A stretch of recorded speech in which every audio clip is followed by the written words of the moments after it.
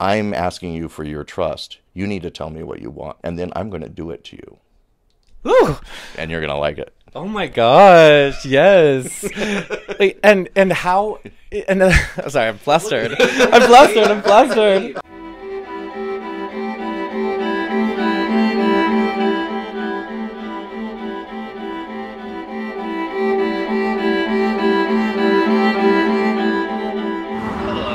Hello. There. I'm outside. I can hear you.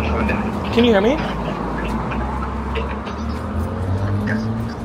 Oh, hello. How are you? Good.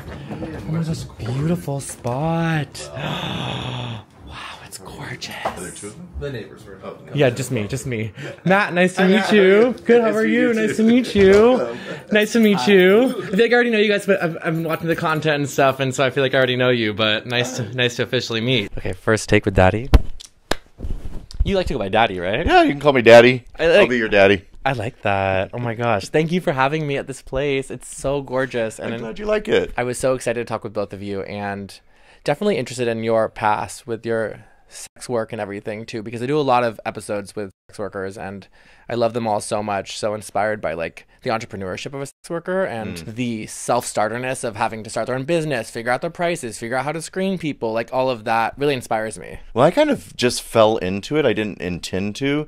I started doing videos when I was 20 to pay for college because I was into it. I was into bondage porn. And so I did that for a company called Zeus. When I graduated college, though, uh, I toured Europe as a college graduation gift and I met this guy who owned a sex store in Amsterdam. And he uh, just bought Drummer Magazine in San Francisco. And because he knew my video work, he said, We're looking for a store manager in San Francisco. Would you be interested? Then it just kind of snowballed from there. Uh, VHS tapes were selling in the 90s for like $80 a title. People were calling the store because they weren't even advertised right. It was just title price, title price. No pictures, no description. People were dropping $500 because there was no there was no internet. There was nothing you could watch. So I just started tapping into that. And so I started directing my own. And then I started my own distribution company for VHS tapes. And then it just kind of snowballed from there. My directing got better. Um, a big name company, Falcon, hired me uh, to direct their videos. And I learned a lot. They were very big productions. We had $30,000 budgets per movie. Unheard of now. That's how much money was going into in the 90s. But now I feel like just like you do it yourself and that's what makes more money than actually like a studio. You know what's ironic is I made more money as an actor in 1992 than actors make today. I was making 600 to 1000 dollars and now you're lucky if you make 300. Three hundred dollars. That's l- l- less than you can make it like a serving shift at a restaurant. Exactly. so Well, why would someone be enticed to get into adult films now with that kind of price? Well, what is different now, I, I, you'll see that studio has gone away because no one's buying that anymore. Has always evolved and shifted. So from VHS, it went to DVD, then it went to the internet, and now it is in the fan site. So now the model is in control of their own image for the first time, and they have a production uh, equipment in their pocket.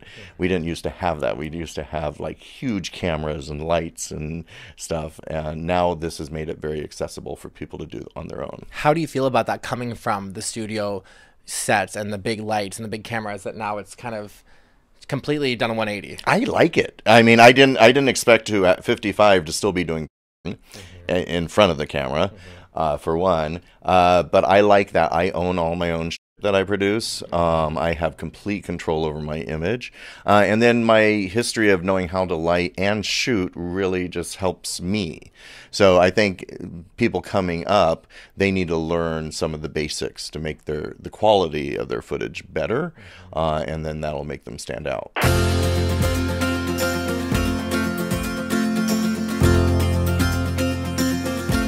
This is your place, right? Yes, this is my place, and it doesn't normally like look like this. We just pulled the couch from over there over here because we thought it, you wouldn't want to shoot into the window because the light will suck. I love you already thinking like I love filming with content creators because you already get it, you already understand the vibe. Does that look good? I look good. Do you look good? I've decided that I look great. I could wish for nothing else. So you guys don't live together? No, he, uh, Amp lives two blocks down. Oh, that's nice. Yeah, it's not too bad. It was great during COVID.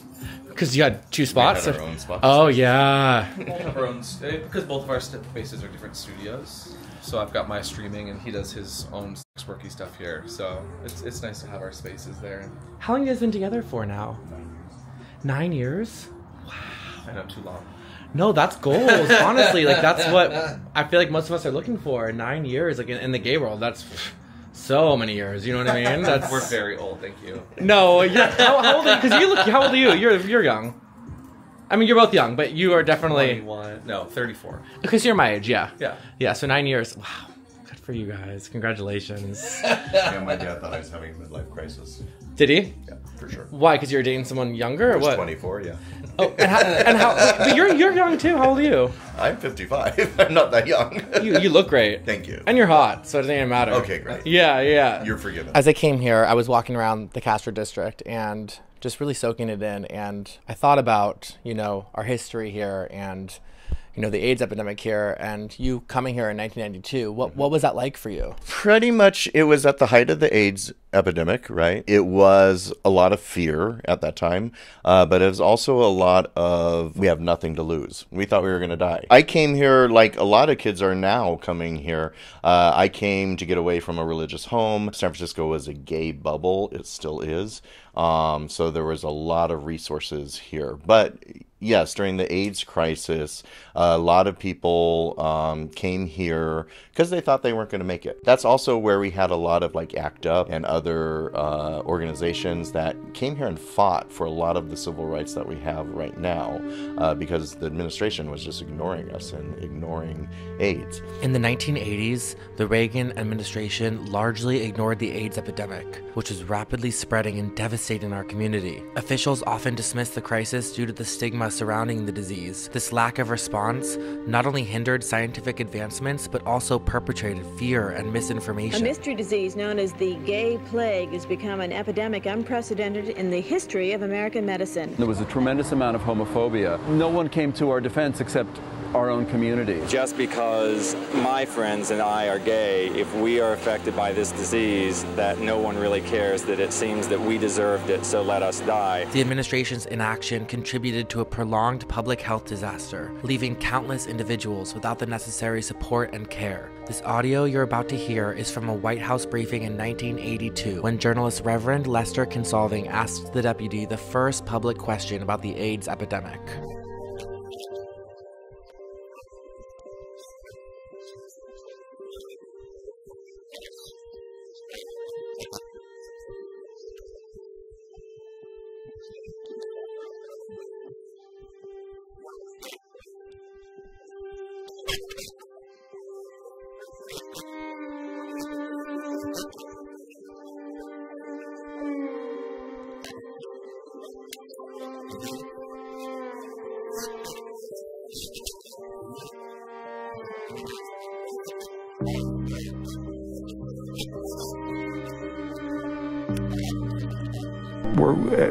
Forced to deal with this unbelievable circumstance of a community that, in addition to being hated and under attack, is now forced alone to try to figure out how to deal with this extraordinary medical disaster. And that's also where like porn actually kind of stepped up and did its job and like started putting condoms. Falcon was the first one to put condoms on dicks to promote safe sex and make it sexy and hot. It was really the advent of PrEP that the condoms came off again and that was really hard for a lot of people because we had trained them that the only safe sex there was was with the condom. And now your generation has had PrEP for six, eight years, and now they don't even remember what it was like before a condom. I love talking to people that, you know, are a bit older than me because it's because of you guys and the fight that you have gone through that we are able to live the way we live. And I think so many people in my generations and people younger than us take it for granted and don't really choose to learn about our history or choose to, you know, commend those that came before us.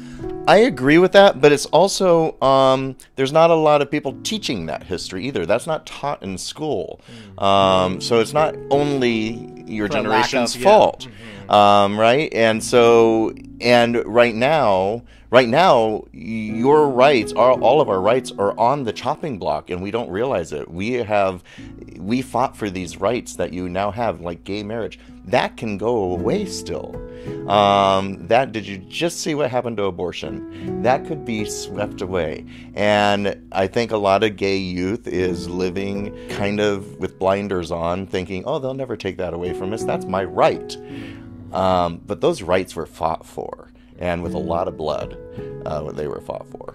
So Chills hearing that. yeah, I was just at Manchester Pride last year, and I was really moved because they had a candlelight vigil at the end to remember people who had passed, and I realized I haven't been to a candlelight vigil in eight years. That used to be an occurrence that happened every month candlelight vigils here in San Francisco. I really teared up because I thought about people I hadn't thought about in years, and I really felt guilty about that uh, because a lot of our people died, and a lot of amazing people died.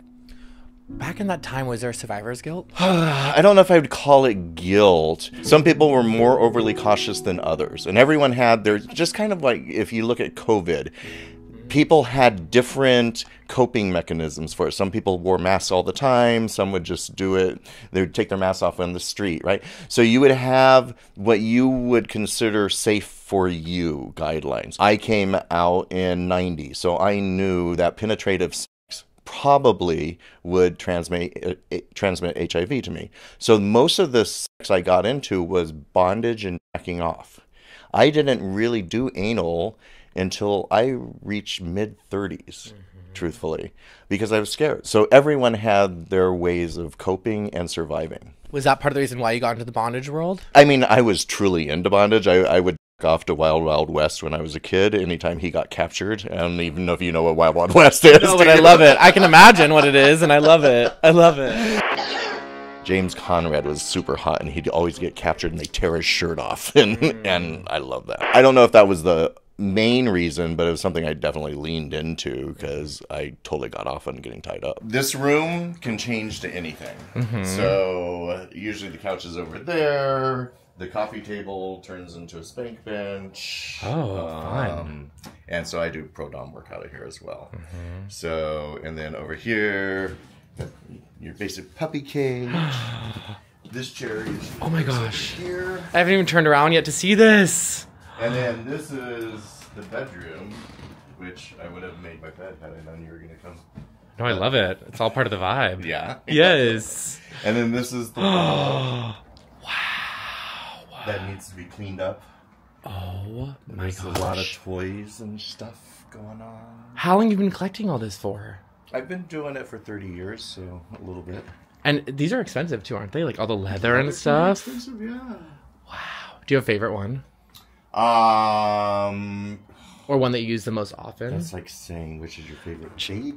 uh, like I love this chastity cage. They don't make this anymore. that looks like antique. This is 30 years old. It has a jock cup built in.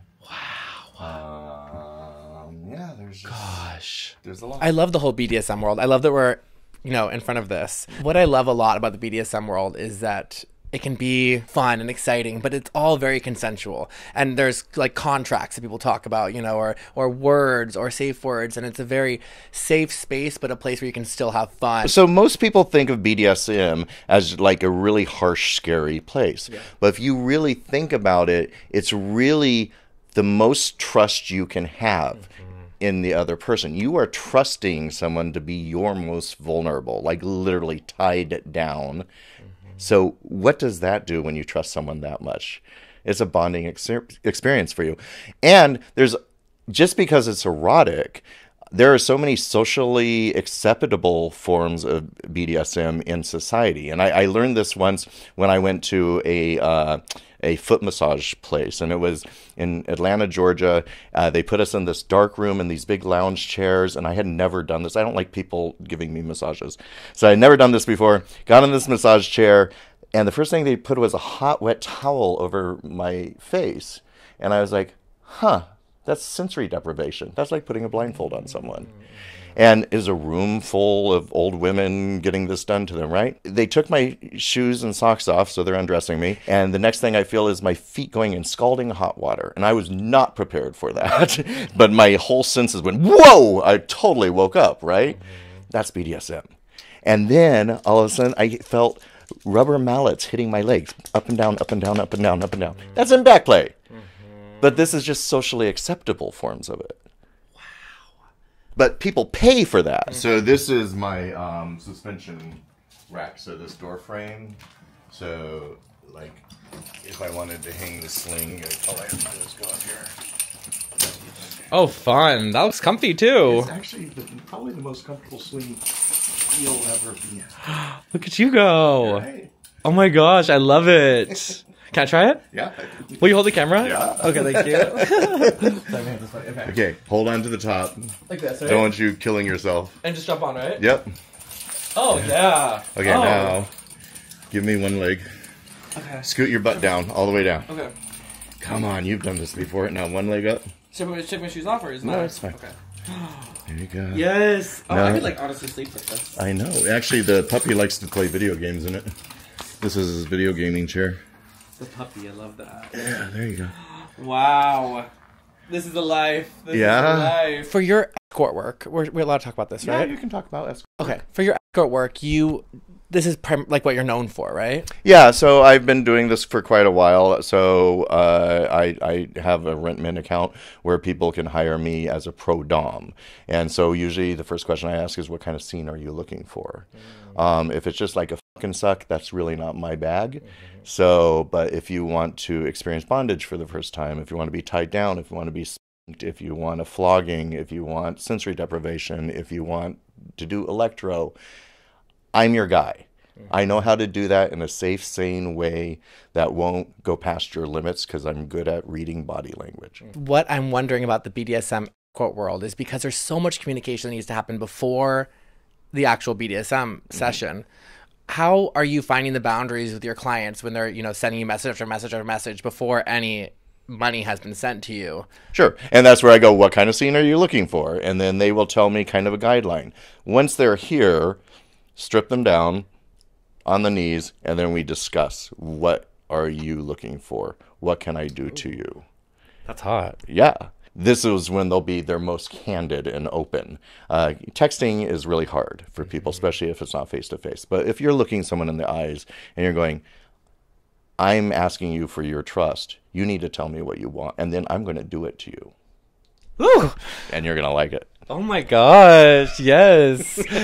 Wait, and and how and uh, I'm sorry, I'm flustered. I'm flustered, I'm flustered. Let's turn this camera off. That'll be 250, please. Yeah, yeah, right, right. How how did you get involved in the BDSM world? Because it can be if you're untrained, it can be very dangerous. You know what I mean? So how do you make sure that you know what you're doing, that it's safe? Okay, so I've taken many classes on shibari, rope work, and that kind of stuff, pressure points. You know, for the most part, uh, what is unsafe uh, in binding and that kind of stuff. Now, everybody is different, and everyone has different physical limitations. You need to ask those things up front and in person. Um, but a lot of it comes from just experience and trial and error. There's two different sets of BDSM. Uh, there's um, RACK, which is risk aware consensual kink, which means there's a little risk involved in what you're doing. I know what those risks are, and I'm okay with it. And, and that's part of the reason why it's kind of hot. Yeah. And the other one is SSC, safe, sane, and consensual kink. Um, and that is where you negotiate everything up front. Which one do you prefer out of those two? I like rack. I like pushing boundaries just a little bit and being able to see when someone wants to be pushed and when they're not able to be pushed. Is there always a safe word involved? Yeah, uh, safe words are very important and they're not always used. That's part of the play too, right? If you're really good, then you won't have to use one. Is there a safe word and then there's a safe word? Do you know what I mean? There's a safe word where it's like like the safe way, the safe word should be the last thing, so you shouldn't need two. you don't need a backup safe word. is there like a fake really stop? yeah, is there like a fake safe word where it's like, oh no, stop. Oh, so so I see what you're saying. So you're thinking of CNC, which is consensual non-consent. You want to be like, don't stop, don't stop. Oh, don't stop. so yes, uh, that has to be negotiated up front. Do you have a lot of clients that are coming and this is their first time into this world and this is that's why they're hiring you? Absolutely. Uh, because a lot of people are really scared to do this with their partners too, and a lot of partners don't want to do it with you. Uh, a lot of partners have a hard time hurting someone they love, right? Even if their partner wants to be hurt. And also, I would feel like a lot of people maybe are scared to admit to their partners that this is something they're into, and so they can come to you Mm-hmm. There's and a little shame involved when you, you different fetishes and kink. Some people just of our background, background and upbringing are a little ashamed to admit what they're into, and they don't want to share it with their partner. you said you came from a very like religious and conservative family. Oh yeah, Pentecostal Christian. Did you have shame involving this when you first got into it? Hmm, that's a very good question. Um, I was always into it. I left my mother in that home when I was 18, and then I never looked back. So I think I shed that shame right away, and then I was just like a kid in the candy store. I'm like, I'm doing what I want. F- that. Are you still close with your family and Don't stuff? talk to her. Don't talk to her. Since you left? No, it was about ten years ago when, uh, yeah, she's she's very religious. Think Sarah Palin. She acts, talks, looks like Sarah Palin. There's just no community. Very Trump supporter, right wing Republican. It's, there's just no good that can come out of conversations with her. Did she know that this is the world you're into too? I don't know, and I don't care. I love it. I think I, I think that sometimes there are boundaries that need to be had. You know what I mean? No, especially if they're unsafe and unhealthy for you. Yeah, I've talked to a lot of people on my channel that have come to that terms with their family and realize that, you know, as much as it's their family or whatever, it's like it's not healthy for them to have them in their lives anymore because they're not accepting of who they are. No, and that's why a lot of queer youth and a lot of uh, queer have chosen families. Uh, we make and create our only own families that accept us for who we are. Do you talk about prices with your escort business? Oh yeah, uh, always up front. Are you no, you're public about that? Oh, I, d- I don't put it in my ad, but when they contact me, I'll tell them the price. Okay, got it. I was curious if you want to talk about that on this, but okay, perfect. No, I mean I don't care. Oh, you want to know how much? I'm, I'm nosy. I'd like to know. Do you mind? Three hundred dollars an hour. Okay, that's that's good. Yeah, no, I, I hope so. How do you how do you figure that price out? time. It, it, it's really negotiating what I have t- actual time for. I'm kind of a busy guy with everything else we got going, um, and I'm choosy about clients. I, I don't have to do this at this point. I do it almost, and it sounds weird, like a community service. As a, I, I turn down a lot of people. Really? Yeah, I don't have time. Do you have a lot of people coming to you that know of you from YouTube and stuff, and like, oh, I want to experience that? It's almost like they're like experience it with you know, it's like a celebrity in their eyes. You know what I mean? Sometimes, yes. And is that kind of hot for you, or how do you feel? Mm, I don't think of it as hot or different. It's just it's kind of like marketing in a way. Uh, at least they found me through that channel. That's what I was gonna say earlier about when you're talking about porn, why people would do porn still nowadays. It is it cross promotes. They do a studio, and then all of a sudden people are watching that and they want, so they subscribe to fans. Studios are very good about promoting a name, and their imagery is actually really good too. Hmm. So, and they still have those algorithms out there that people still gravitate to, and so I still do studio. I do one or two a year, and that keeps my name in those channels.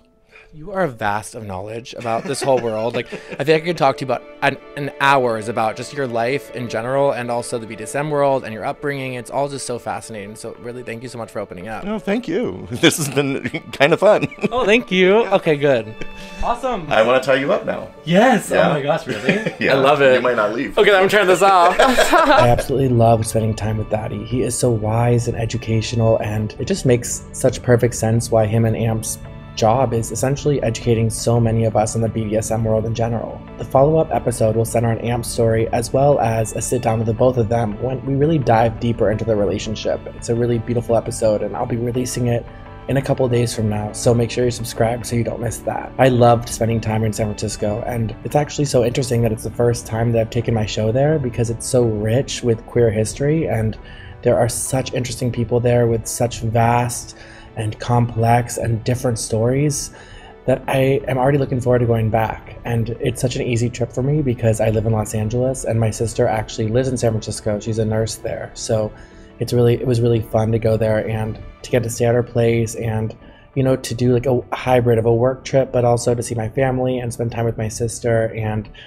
it was just a perfect situation. So if you live in San Francisco and I missed you this time around, make sure to email me if you want to be on the show and I will let you know when I have plans to go back. I am heading to Houston, Texas and to Nashville, Tennessee in the next couple weeks and I'm still looking for a couple stories and I still have a couple slots to fill. So if you live in either of those cities and you're interested in being on the show, or you know somebody who does live in those cities and you think they would be a good fit, make sure to email me a little bit about yourself, your social media links, and what city you live in out of the two, and I will be sure to get back to you. I believe I'll be in Houston during Houston Pride, so if you're going to Houston Pride, make sure you keep a lookout for me, and if you see me, come up and say hi so I can give you a hug and meet you.